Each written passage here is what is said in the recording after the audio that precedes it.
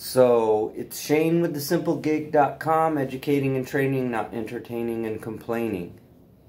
Yes, I promote owning your car, but not for the reasons you think. Right?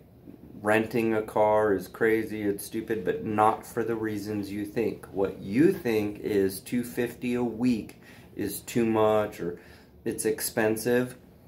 The truth of the matter is $250 a week needs to be going to, after paying off your car, be setting aside. You're paying 250 per week anyway.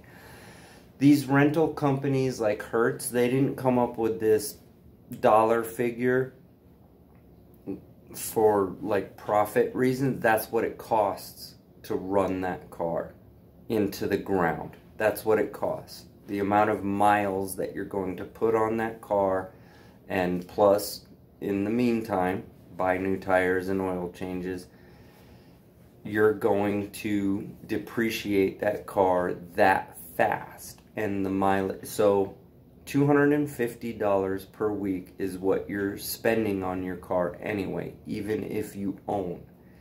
If you own and you do this full time 6 hours or more per day, you are to be spending $250 per week on your car, at least per week.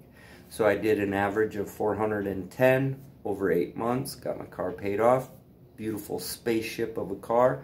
It went down in value rather quickly. You got drunk people bouncing off of doors and cracking hinges, and now you go through the car wash. And I mean, it just goes on and on and on. You put a hundred thousand miles on that car in 18 months. You want to pay it off in eight months.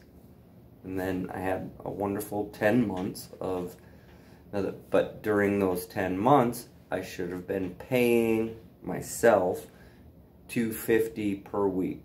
And uh, out of that 250, you're going to extract the tires and oil changes, so it's not, but the rest goes into your Acorns account.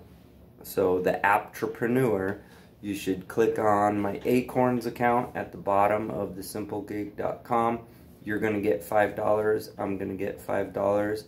And start your Acorns account and put regularly, if your car's already paid off, 250 per week goes to.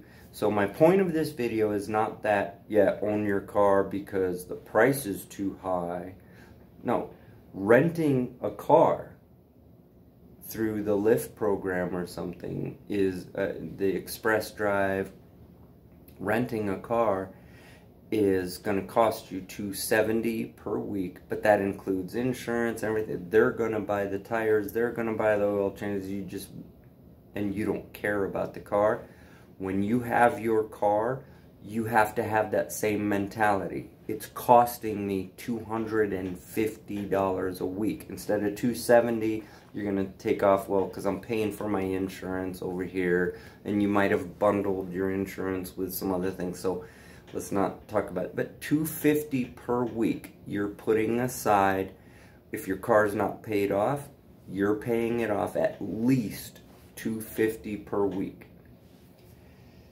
When it's paid off, you're putting that into your Acorns account to where and you're setting that aside because then a timing belt goes.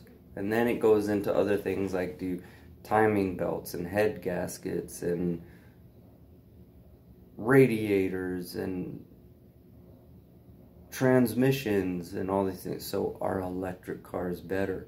And is the autonomous thing really going to happen? And if it does happen, you should make your Uber Eats passengers come to your car. If we all start programming them now, because that's what's going to happen. Do you think a autonomous car is going to deliver the Uber and find the exact and go up some stairs. No. Get your butt down here. Meet me at my car. This is what we all got to be doing. And we got to train the people. That's part of what the scamdemic and COVID-19 is about, is just training you how to think what your idea of customer service was and switch it into what customer service is. Damn good, damn fast, damn cheap. That's it. Not kissy kissy, not touchy touchy.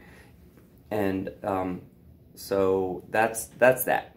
Bottom line is 250 a week even if you're owning your own car. If your car is paid off, still put 250 a week aside for your car. And that's the whole point. I'm Shane with thesimplegig.com. Drive towards your dreams.